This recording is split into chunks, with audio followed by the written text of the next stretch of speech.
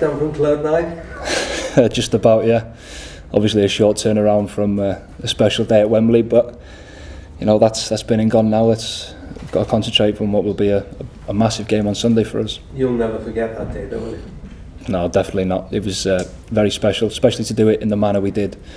You know, I don't think we scored a goal, but one of our players scored a goal anyway over the, in the playoffs, and uh, I think it kind of summed up our season. You know, with going extra time and the distance to penalties, we uh, shown that grit and desire and that bit of determination, which has, has managed to get us over the line, and I think in the end just deserts. It's either desolation or elation for a keeper in shootouts. You come out twice on the right side. Yeah. Secret?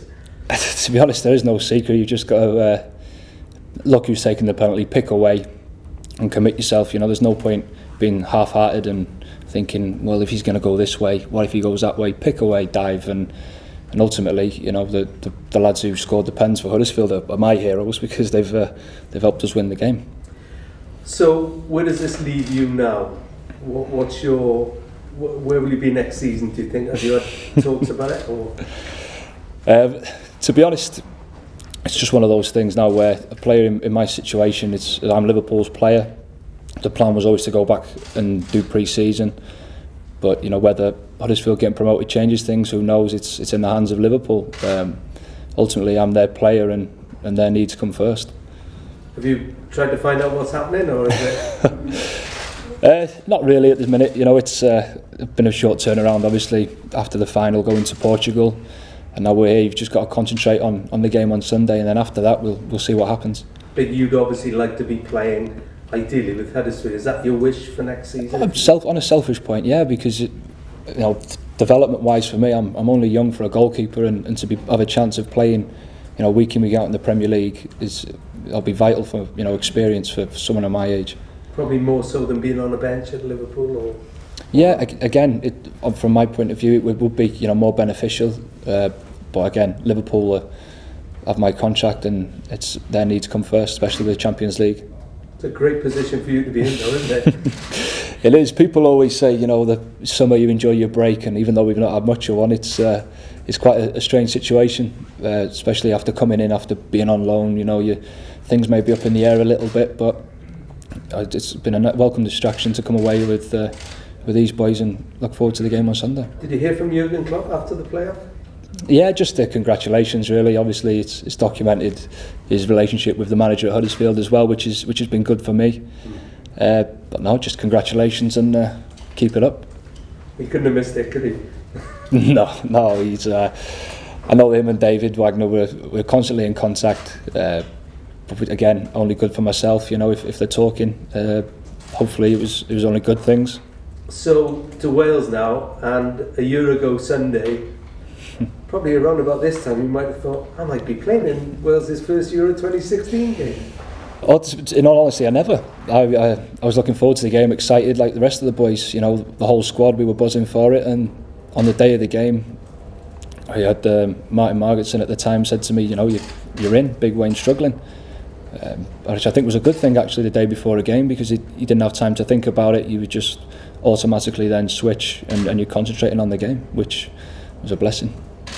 And it was a heck of a game, wasn't it? Yeah, it was. It was emotional, to be honest. Uh, that, when that final whistle, you know, came and, and we won the game 2-1, got off to an unbelievable start against what are a, a really good side.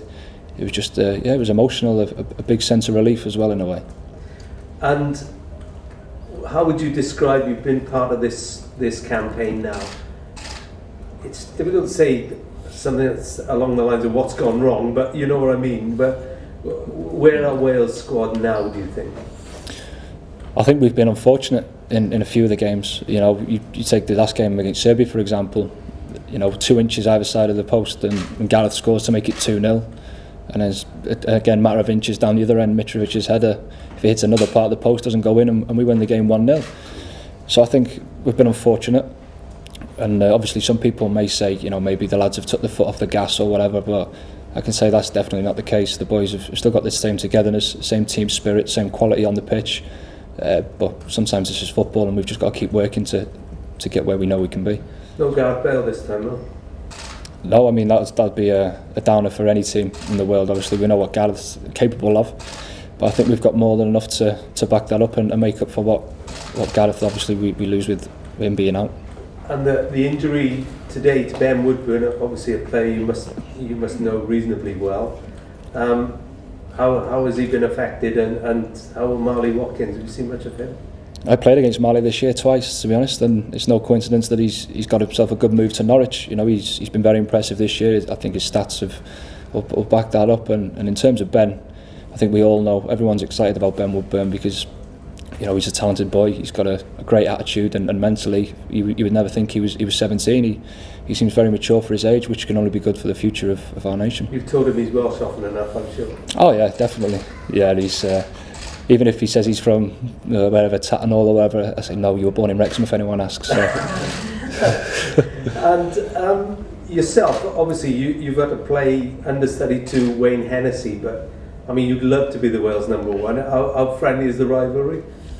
yeah, it, it, it's it's of course it's a friendly rivalry, but it's the same of, being at a club.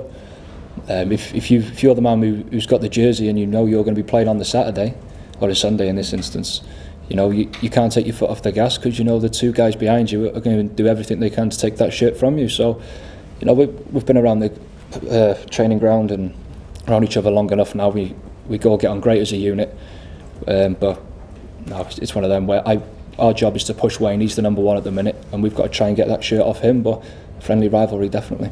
And last one for me, I suppose. After what happened a year ago, you never think I'm going to be on the bench tomorrow because who knows what can happen.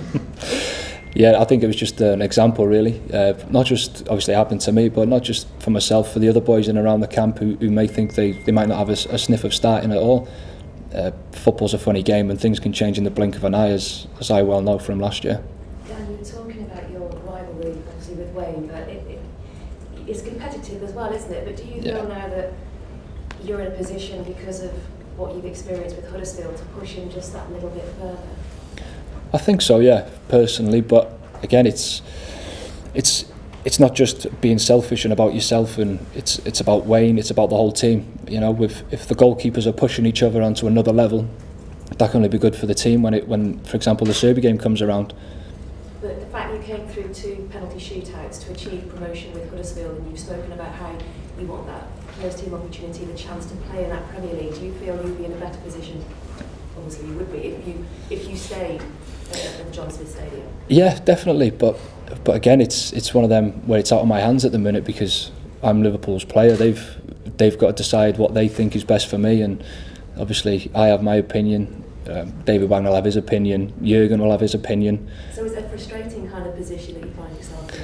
Um, slightly, but I, I've not really thought about it too much because we've we've been away and we've been training hard for this game on Sunday. But I'm sure after the after the game, I'll uh, I'll speak to the necessary people and, and, and see what's around the corner. And just going back to, to that game on the record, when I was speaking to you post match at the yeah. time, crazy one. But it's, it, it seems ages ago now because, like you say, it's been such a quick turnaround for you. It has. Kind of focus on so many different things. Yeah, I mean, within 24 hours, 48 hours, I was on a flight to Portugal for the training camp, so it's. Uh, I've, I think I'll have to enjoy that after uh, after Sunday. To be honest, I got a bit of catching up to do, haven't I? Danny, has, uh, has Chris Gunter forgiven you yet? I think so. Uh, I think so. Obviously, I, I saw him after, straight after the penalties, and you know, we had a bit of an embrace. And it's one of them things. It's a horrible way to lose. You know, what was effectively a season's work. Uh, all the you know the 46 games, the Saturday, Tuesdays, the hectic schedule, and for it to come down to a penalty shootout is uh, it's a tough way for him to go. Obviously, on the flip side, I was absolutely made up. Um, Chris maybe not so much, but it doesn't it doesn't affect the relationship that, that I have with him. You know, we we come away here and you know we're still good pals. And like I say, after the game, we, we had a bit of a, a chat and got each other's feelings. But it's it was emotion was still raw, you know, from both sides. No, he's he's a good boy. He's a brilliant professional, Chris. So I'm sure he'll shrug it off and then go again next year. Yeah, so you haven't seen him. He hasn't been down in the dumps during the camp. He's been his usual. No, no. He's he's. We all know what Chris Gunter's like. You know, he's a bubbly character, isn't he? Um, but no, he's, he's been the same. I think it's been a welcome distraction. If he has been feeling like that, I don't know. uh, to come away with the boys and, and be around familiar faces and we all enjoy coming away and enjoying each other's company. I just find for me Harry Wilson obviously you're all teammates at but how's he looking? How's he fitting into the into the international scene? And do you think he can make an impact?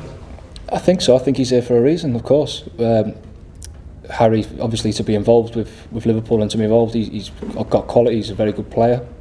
Sharp left good left foot on him.